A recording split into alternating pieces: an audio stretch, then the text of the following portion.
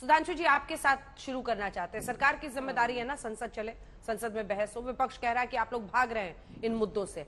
और ये आरोप भी कि राहुल गांधी आप लोगों के सपनों में आते हैं, इसीलिए आप लोग दिन रात राहुल राहुल रटते रहते हैं। सुधांशु जी। देखिए, अंजना जी, यदि कोई कहे कि राहुल गांधी स्मृति जी के सपनों में आते हैं तो आप समझ लीजिए किसके सपने में कौन डर के मारे दिखाई पड़ता होगा तो खुद समझा जा सकता है। राहुल गांधी जी की अपनी पार्टी अपने परिवार और जिस संसदीय क्षेत्र को वो अपनी जागीर समझते थे, वहाँ से वो चुनाव हार गए। और उसके बाद, मैं ये मानता हूँ कि राहुल गांधी जी के राजनीतिक बुद्धि कौशल पर चाहे जितने प्रश्न उठाए जाएँ, पर एक मामले में तो उन्होंने बड़ा बुद्धिमत्ता का निर्णय लिया था 2019 में वायनाड से चुनाव लड़ने का निर्णय, जिसकी वजह से आज वो संसद में है, अन्यथा अकेले अमेठी से लड़े होते तो संसद में नहीं होते तो इसलिए समझा जा सकता है कि कौन किसके मन में भय के कारण दिखाई पड़ता होगा, वह एक अलग विषय है अब मैं एक बात कहना चाहता हूँ। देखिए संसद में ईमानदारी से डिस्कशन होना चाहिए। इसके लिए अंजना जी एक कहावत होती है अंग्रेज़ी में coming events cast their shadows before यानी आने वाले समय के लक्षण पहले दिख जाते हैं। जब संसद सत्र शुरू नहीं हुआ था तो सबसे पहले क्या मुद्दा बनाया गया? असंसदीय शब्दों को लेकर जो उन्नीस सौ चौवन से चले आ रहे हैं। 2010 से प्रतिवर्ष जो पुस्तक प्रकाशित होती है 1200 पेज की पुस्तक को लेकर बवाल मचा दिया कि तो अभी किया जा रहा है। हम्म। चलिए हम्म। उसके बाद हर संसद सत्र के शुरू होते में यह एक कस्टमरी है। यानी एक जिसे कहना चाहिए रूटीन काम है कि धारा 144 लगती है, संसद भवन के अंदर किसी प्रकार का धरना प्रदर्शन नहीं कर सकते। ये एक सामान्य नोटिस हर सबसे पहले, अब उसको साहब पहली बार किया जा रहा है। और याद करिए डिस्कशन से भागने की बात, किसान आंदोलन था। जब हम लोग कह रहे थे डिस्कशन करिए तो इन लोगों ने इसीलिए सत्र नहीं चलने दिया। इन्होंने कहा, कोई डिस्कशन नहीं होगा, सीधे वापस लीजिए। कोई चर्चा की आवश्यकता नहीं सीधे वापस लीजिए हम्म। जब प्रधानमंत्री ने घोषणा की और संसद में सीधे वापस लेने का विधेयक आया तो इसलिए बवाल किया कि चर्चा क्यों नहीं कर रहे इससे ज़्यादा हास्यास्पद और दोहरा रवैया नहीं हो सकता कि एक तरफ़ आप जिस मुद्दे को लेकर संसद इंस्टॉल कर रहे थे, स्थगित कर रहे थे, कि चर्चा नहीं सीधे वापस लो, जब वो सीधे वापस लेने लगे तो आप इसलिए इंस्टॉल करने लगे कि चर्चा क्यों नहीं हो रही है?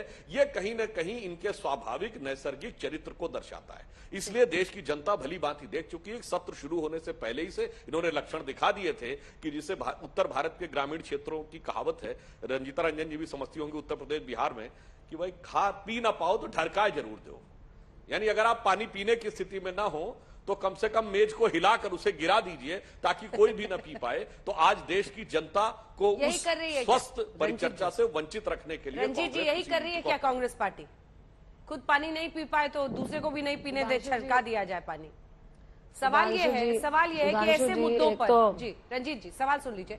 ऐसे मुद्दों पर हंगामा पहले दिन से हो रहा है जो कि पहले से सदन की मतलब एक तरह से प्रथा थी कि ऐसे असंसदीय शब्द, इतनी मोटी किताब है असंसदीय शब्दों की। लेकिन ऐसे इश्यूज़ को उठाकर क्या डिरेल कर रहे हैं आप लोग? संसद में काम नहीं होने दे रहे। हम दिखा रहे हैं कितने बिल निकाल रहे हैं सुधांशु जी की पार्टी को, सरकार को। अन्ना जी, सावन का महीना और महँगाई डराए ज़ोर। और सुधांशु जी से बोलिए, सावन के महीने में फास्टिंग तो रखते होंगे। कसम खा के बोलिए, ये पाँच परसेंट का जो जीएसटी है दही छाछ में, गेहूँ में, मक्खन में, ये किसके लिए है? ये आपके कारपोरेट घरानों के लिए है या गरीबों के लिए है जिनके खाने पे है? दूसरा, आप अभी बढ़ चढ़ के स्मृति ईरानी जी की बात और इनके स्टेटमेंट दिखा रहे थे। अभी सुधांशु जी भी महँगाई की चर्चा कर रहे हैं। माना जा सकता है कि हम आम की बात कर रहे हैं, आप इमली की बात कर रहे हैं। मुझे लगता है आप लोगों को शायद इलाज की ज़रूरत है। अभी राहुल गांधी जी वायनाड से लड़े या अमेठी से लड़े, महत्व नहीं है। अभी एलपीजी एक हज़ार रुपए कैसे पहुँच गया? आज पाँच परसेंट जीएसटी आज़ादी के बाद आज तक कभी भी दही में, छाछ में, लस्सी में, गेहूँ में, मखान में, मखान तो आप भी समझते होंगे ना सुधांशु जी, बिहार और उत्तर प्रदेश में बहुत होता है।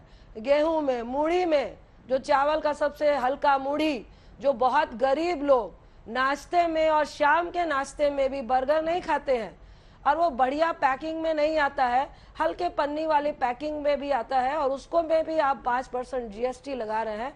उस मूढ़ी पे जो आप लात मार रहे हैं, किसके पेट पर लात है? ये गरीबों के पेट पे लात है। आप उसकी बात कीजिए।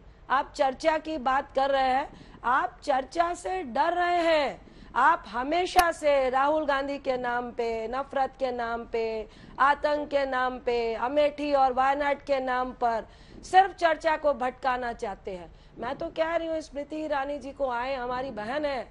आप प्लीज़ आइए और आइए मिलकर गैस सिलेंडर के साथ। हम सच्चाई से अगर आप गरीब के साथ हैं, सत्ता के साथ नहीं है, आपको सत्ता का सुख इतना भाग गया इतना भाग गया कि 410 से आज पौने ग्यारह सौ रुपए गैस सिलेंडर हो गया। तो आप गैस सिलेंडर की बात ना करके किसकी बात कर रहे हैं? राहुल गांधी की। तो किनके सपने में कौन आके डरा रहा है और कौन डरा रहा है? और क्यों डरा रहा है? ये आपको महँगाई डरा रही है और आप इसके प्रश्न से बचने के लिए उल जुलूल बातें कर रहे हैं। और सुधांशु जी एक बात और कह दू। आप जैसे लोग तो अस्पताल में इलाज करा लेंगे। अगर आपसे नीचे वाला आपका कार्यकर्ता जो पंचायत का कार्यकर्ता है अगर वो भी आपकी उल जुलूल बातें सुनने लगा और बोलने लगा तो जब वो इलाज कराने जाएगा ना तो हज़ार से नीचे वालों को भी आपको जीएसटी भारी मात्रा में देना है। उसकी बात करिए।